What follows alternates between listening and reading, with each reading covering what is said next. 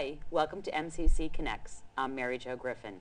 Well, it's springtime, and you know what that means, spring break. And we've all been exposed to and heard of the crazy spring breaks that so many college students take going south to the beaches and those wild parties. Well, I am proud to say that our students here at Middlesex Community College have chosen alternative spring breaks. In today's program, we're going to hear about three different alternative spring breaks that the Middlesex Community College students chose to take, where they were educated, where they engaged in civil responsibility and social responsibility and learning. So our first guests today are Bruna Fernandez and Teresa Gray. Thank you so much for joining me. And you chose to go to our nation's capital, Washington, D.C., on your spring break. And I want to commend you on that because one of the main reasons for going to the capital, going to Washington, D.C.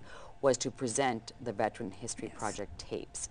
And Teresa, I know you were one of the veterans that was interviewed. Mm -hmm. um, Miriam Mungavin really spearheaded that whole project. And just so our viewers know, we did do a segment on it, um, the Veterans History Project, which Middlesex Community College is working on, where the Library of Congress is collecting video of veterans, yes. and we are working on those at Middlesex Community College. Well, the Veterans History Project is really an acknowledgement that we have over 20 million veterans who have served uh, in so many of our conflicts across the globe, that they have tremendous stories to tell, that they're part of our nation's history, but that all too often we're simply not getting those stories in a way that allows us to protect them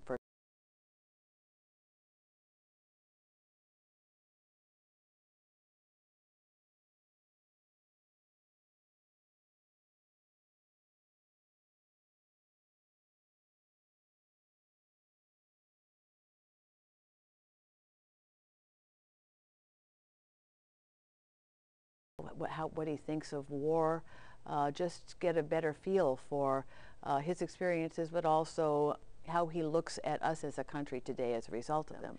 And so this is really an acknowledgement that President Clinton signed the legislation into law that created the Veterans History Project in 2000, really a recognition that we were losing all these stories. We needed to find a way uh, to protect them both for family members who may you know, at some point in life want to know more about their relatives' experiences, but also uh, to document them for the sake of our country's history.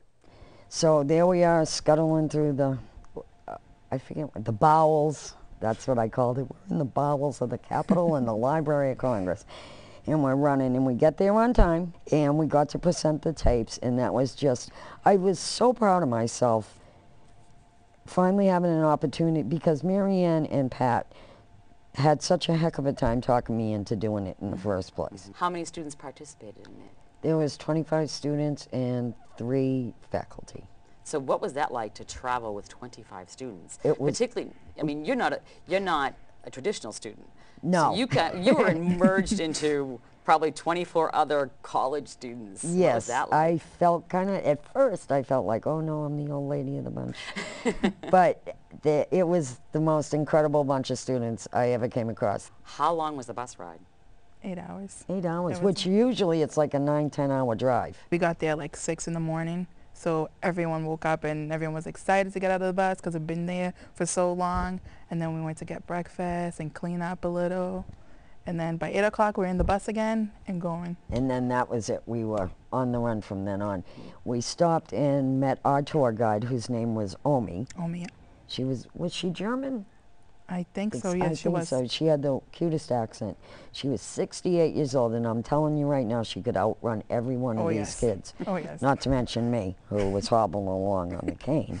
But she was unbelievable. She, we would have never saw what we saw in 72 hours without her. So what was the first place you saw? The Vietnam Memorial, oh. which ah. was intense, especially for me, because I'm more of that age group. And my brother had a really good friend who went over there in November of six, well, he enlisted in November of 68, and we lost him in February of 69. So I still get chills when I think about it. And he wanted me to find his name and rub it. And being as short as I am, I was not, I could barely reach his name, and instantly, this is what I'm talking about with the camaraderie of all these students, they were just amazing. Instantly, they all saw I was having trouble, and like 10 of them just, Teresa, can we help you? And they ended up doing the rubbing for me.